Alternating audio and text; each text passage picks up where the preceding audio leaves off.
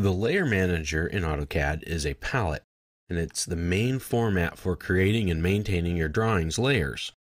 Here you can change the state of a layer, create new layers, delete layers, and change the properties of a layer.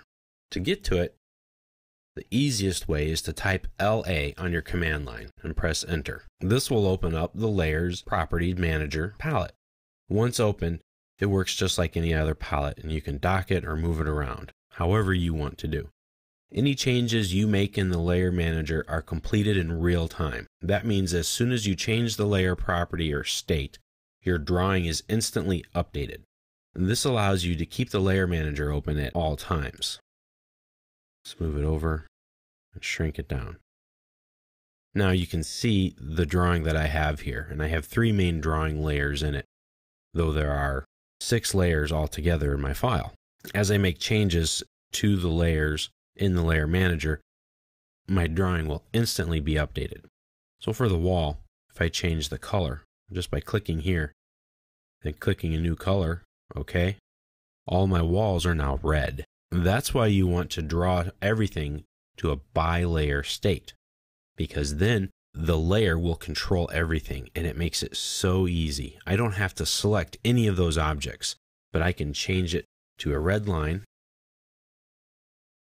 that's hidden. In just a few steps. There you go.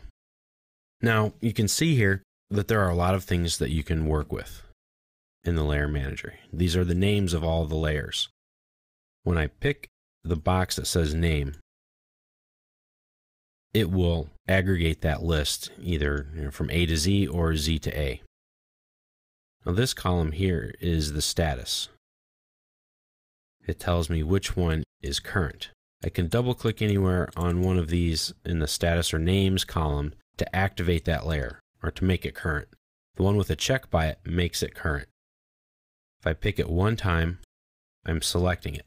I can hold down the control key and pick different ones. If I click it again, it will unselect it. So now when I do something here, it will do that to all of these layers. So I can make all of these layers have a continuous line type. My drawing is updated. I can turn them all green. And now all of those objects are green. Of course, I can undo that with my undo command. So you have status, you have name, you have if it's on or off. So I can click here. I can turn off a layer. I still have these selected, so I turned all of them off. But if I pick in one spot now, it'll just affect only that one. I can freeze the layer. I can lock it. And you can see it sort of fades it back. And when you move over that object, it kind of puts that little padlock looking icon. I can't even select the object so much. I mean, I can, but I can't delete it. It won't let me. I can't change it. I can't do anything to it. So when you get line work that you needed to have set, you know, locked in, then lock it down. And you can sort any of these columns by their specific type or function just by clicking on it in ascending or descending order. I can sort by color, I can sort by line type, line weight, etc.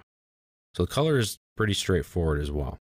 I just pick in the box here or anywhere on there and it brings up my select color window. There are a lot of colors here. There are 255 specific or standard colors that I can pick from. Most of them that you're going to use are right here. Colors 1 through 9. 7 is the color white. And that goes back and forth between white and black. That depends on your background color on your screen. Right now, my screen color is black, so it makes it white. Now, if my background was white, it would be black. So that's just a relative color. But when you print to this color, it will always be black. That's the color ink that would be used. Now in this case, you have color 250, which is a faded color. It's just a little bit less than 100% of black. And down even more, all the way down to an almost not even there. So if you want to draw something that's kind of not there, you would use 255. So these are the most common colors that you're going to use right here. Now, you can pick any one of these other colors to make it current, and they have a specific number. It's like this is number 79. This form of yellow or shade of yellow is number 50. So I can type in any of the numbers in this box. If I want it to be the standard red, I can just type in the number 1. Click OK, and it's still red. Line types are a little bit different. I just click on it. Whatever's loaded into my file, I can use. Just select it, click OK, and it changes that line type to that line type. Double click on it to open this up. If I don't have the line that I want here, I can click load and here are all the standard AutoCAD line types. You have a bit of a preview and description for that line type and then the name right here. This is the source file. You can customize line types. We're not going to get into that now and I recommend that you stick with the standard line types as much as possible.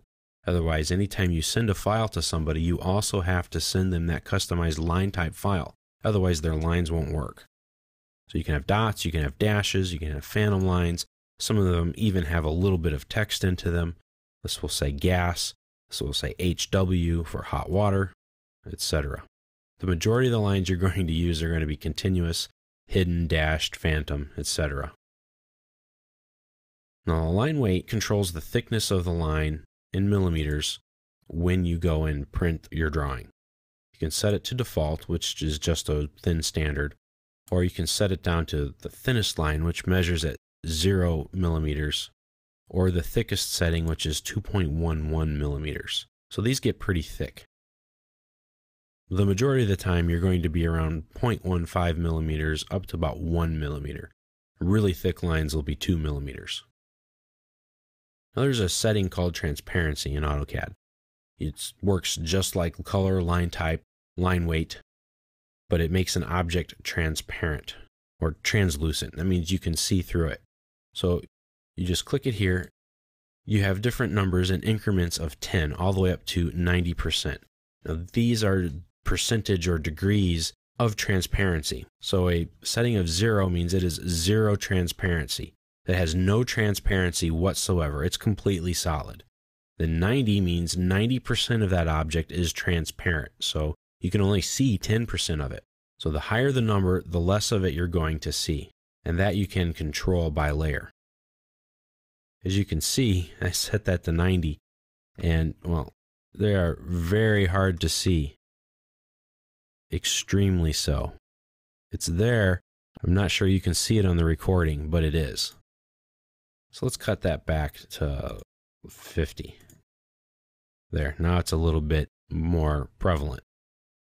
That's nice when you want to, you know, ghost something back. You know, meaning that you want the line there, but you want to, you know, not put emphasis on it. So you fade it back. And that's one way you can do that with the transparency. Now, you can have something that doesn't print out. It's called no plot. That's what this setting here does. Like this case right here, it won't plot. Now it will because I clicked it. Click it again, it won't plot. We use that with viewports quite a bit. A viewport is sort of a window from your paper space to your model space, so it brings it in. You don't want to see that line work that shows your shape, that's your window, but you need to know where it is while you're working in AutoCAD. That way it will define it, but not commit you to the line work. This last section here will be a new viewport freeze. That means if you select this, whenever someone creates a new viewport, which we'll talk about in another section, um, the viewport will have that layer frozen. So if you're working on something specific on a small area of your drawings for the whole project that you don't want other people to necessarily include, uh, this is great for revision work. So let's say you've done your project, you've submitted it in, and now you're coming back with a change and you don't want it to show up in your other drawings by accident. So you put it on a new layer and you say new viewport freeze. So anytime someone makes a new viewport or it comes in, it's not going to be turned on. It'll be off. So the line work won't show up. And this last column is a description. Here you can put in a description In this case, this is a wall. You just click in here and you can say, you know, just type in whatever you want. Contains all building walls. There you go. That helps because it can get kind of complicated every once in a while on what a layer really is. So this can help you uh, better define and leave notes for people on what you've done here. You can click here, make a new layer. Click here to freeze all of them in the viewport, to delete them, or to make one current.